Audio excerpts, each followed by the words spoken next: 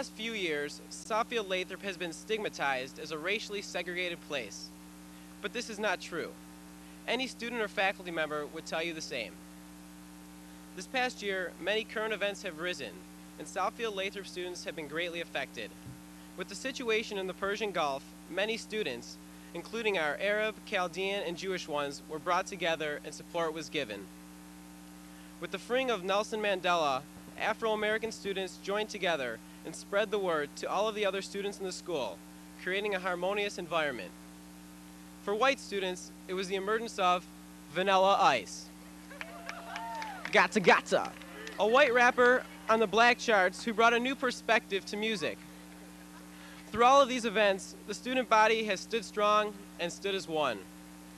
At this time, I would like to thank all the members of this year's Board of Education, the Superintendent's Administration, and Principal Mr. Smythe for always taking time out of their busy schedules to help me out. Finally, I would like to thank my parents for always giving me the best and for always sticking behind all of my endeavors. And without my mother's support, caring, and understanding, I never would have made it here today. Did I get it all right here, Ma? to my fellow graduates, in getting this far, you have fulfilled your parents' dream. Now it's time to start fulfilling your own. I say go out and be yourself. Live your dreams and accomplish. Because even if you don't live, it'll be nice. Because if you shoot for the moon, even if you miss, you'll always be amongst the stars. It is my colleague and friend, the great and immortal two-time World Wrestling Federation Intercontinental Heavyweight Champion Greg the Hammer Valentine always says, knock 'em dead, baby.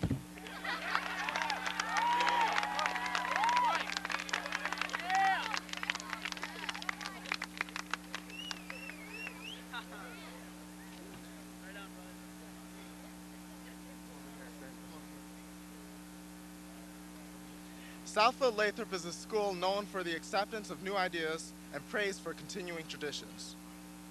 Each year, the graduating class follows tradition in giving a gift to the school. Today, we, the class of 1991, will not only continue this tradition, but with it, start one of our own. It started as a simple idea, which we later decided to run up the flagpole. So on behalf of the graduating class of 1991, we'd like to present this flag as a token of our appreciation. We are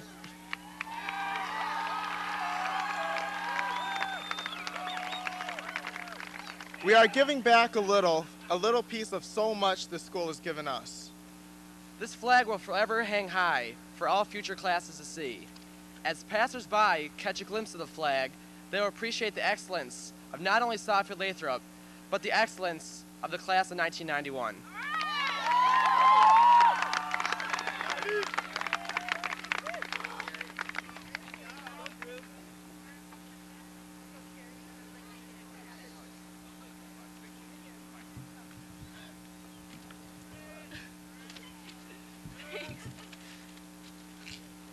Thanks to the class gift from the class of 87, our freshman class had brand new picnic benches to eat our newly designed clothes lunch on.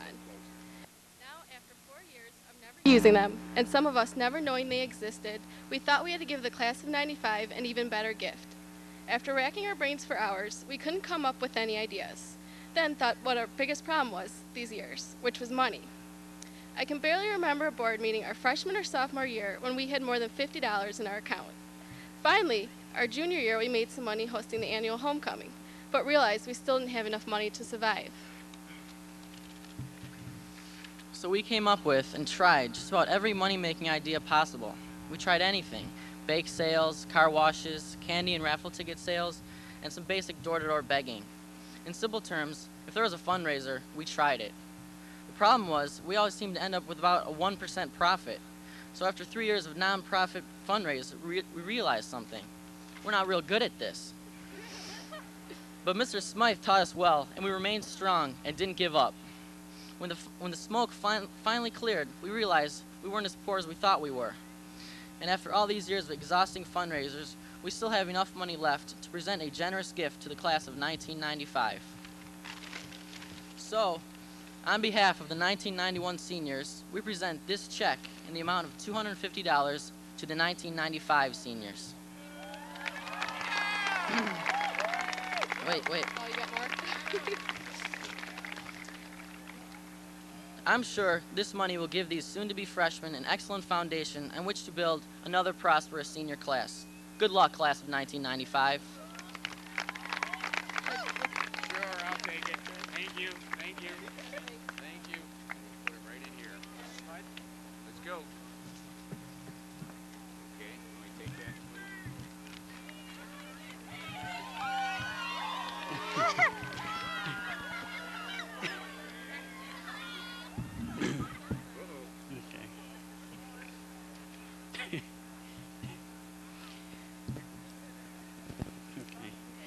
Okay.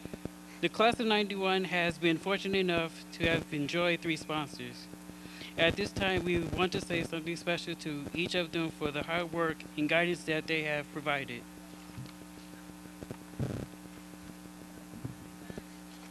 Mr. DiPolo, even though you never completed your mission with us, you spent three years planning a foundation in each of us to be aggressive and hardworking.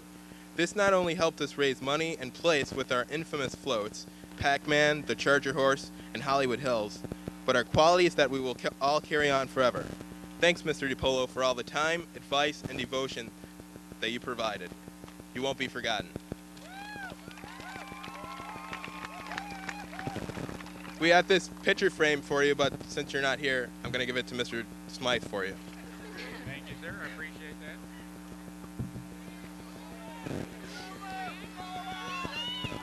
There's not a gift great enough in the world to say thanks for all the love, support, great ideas, and hard work she has given us. She has put in 110% and more to make our senior year the best year of our lives. We will miss her dearly. There's not a lady like her. We will miss her and her young personality. Mrs. Lychuk, here's a clock to keep in memory of the class of 91.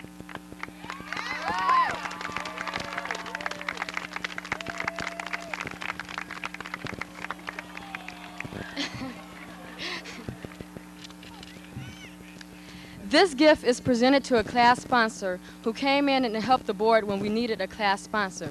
She donated her time and gave us ideas to raise money for our class. Though at times we were out of order during our board meetings, she was still kind and patient. So on behalf of the class of 91 senior board, I would like to present this gift of recognition to one of our class sponsors, Miss Margaret Moeller. Thanks for making our senior year a success, and God bless you.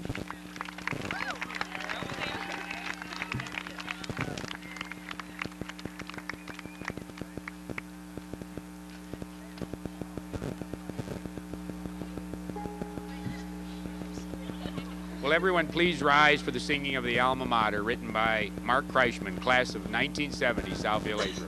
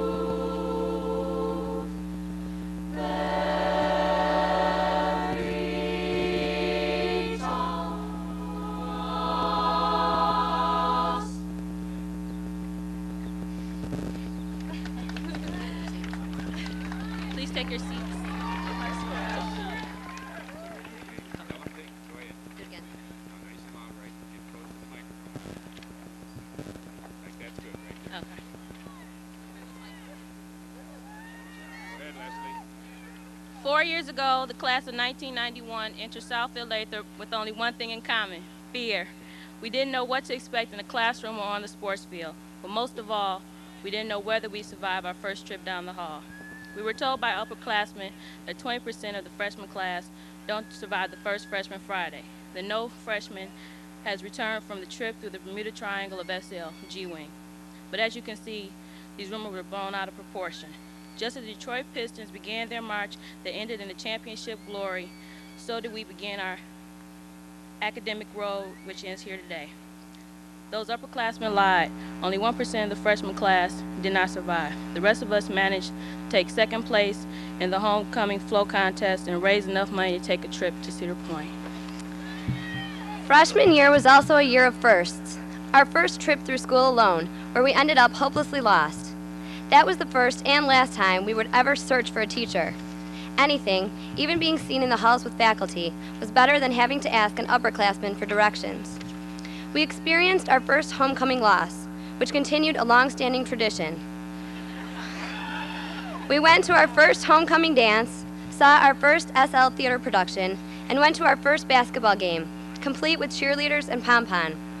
And then there's the most infamous first. We were the first class not allowed to leave school for lunch. Most importantly, freshman year was when all of us came together to form the greatest class in SL history, the class of 1991.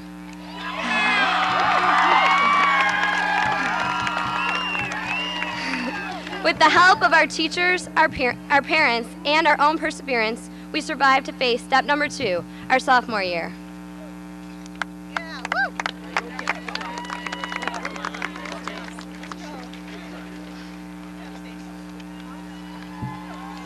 I go? The agony of being the youngest was over. We were now the big sophomores. We were no longer mute at pep rallies. We could paint 91 on our faces without embarrassment or harassment, and we overcame some of our past fears. This newfound spirit helped us to unite in creating the biggest and best float of that year's homecoming parade. When we say big, we mean big. I mean, how can you miss that humongous white horse coming slowly down 12 Mile on bicycle wheels? The theme was Americana, so we made a man, Paul Revere, to put on top of the horse. We were playing Athens, and our saying was, the Red, Red Hawks are coming. But most of the people looked at our float and seemed to be saying, what in the world is coming? Nevertheless, the hard work paid off, and we came in first place. We made many upperclassmen mad about our taking up first place because usually it is tradition for the seniors to win. But one thing that did follow tradition was the the defeat of the Chargers at yet another homecoming game. Even though we lost, sophomore year was full of excitement. We were finally old enough to drive. No more endless rides to school on the dreaded cheese wagon, or even worse, being shuttled around by mo- mommy and daddy. Though administration continued to enforce the closed lunch policy, with our newfound freedom, we were unstoppable. Well, except for those poor few who went to Evergreen for a pizza and came back with a detention. Now our weekends were spent driving around aimlessly with nowhere to go, and more often than not, we ended up at the infamous Ramshorn. chance there was a party, usually thrown by an upperclassman. We would waste half the night outside debating whether or not to go in. Then, after finally waiting, deciding to go up to the house, there was always the question of if they were really going to let us in. So, as many a night ended, we'd jump back into our cars and go back to where it was safe, Ramshorn. Some issues came about during our sophomore year. The Bad Boys took the title as world champions, and we swore in a new president, not to mention our great VP, Quayle. One local issue that got a lot of heated discussion was the burning of Southfield High. Not only did they get longer, not only did they get a, a longer winter break, but they did us a favor by getting us out early. Thanks, SH.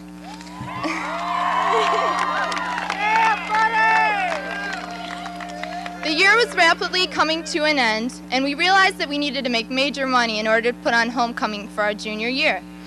We sold farewellograms, had bake sales, advertised for our car wash that never was, sorry, Mrs. Grit, and did not forget our infamous egg sale. Talk about door to door begging. we were growing up slowly.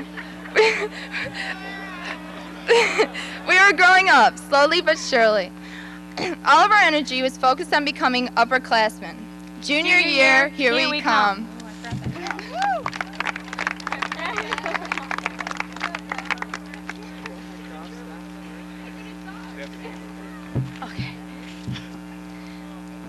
Our junior year was our best year yet. We now knew the building like the back of our hands, drove to school, and were finally allowed the freedom to leave campus for lunch, legally, that is. This was the year that we, as juniors, put on homecoming. The dance was a huge success, unlike the football game.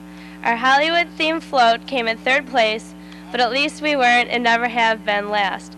Our junior princess was Lynette Ferguson, without